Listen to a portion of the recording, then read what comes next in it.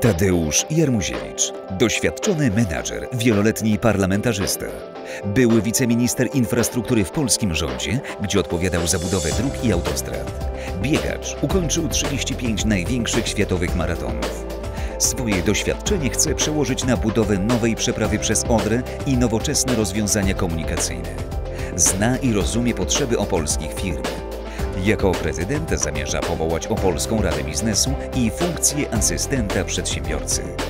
Pragnąc zatrzymać niekorzystny wskaźnik demograficzny, uruchomi program budowy mieszkań dla młodych rodzin, a dbając o aktywność seniorów, włączy ich do Opolskiej Karty Rodziny.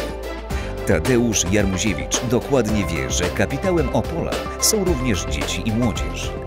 Z myślą o nich będzie rozwijał bazę przedszkolną, inwestował w obiekty sportowe oraz miejsca rozrywki dla najmłodszych.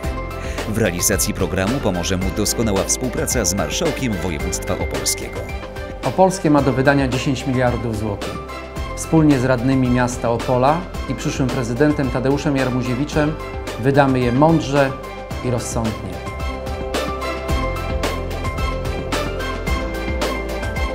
Możecie Państwo liczyć na moje doświadczenie. Tadeusz Jarmuziewicz, Twój prezydent w europejskim Opolu.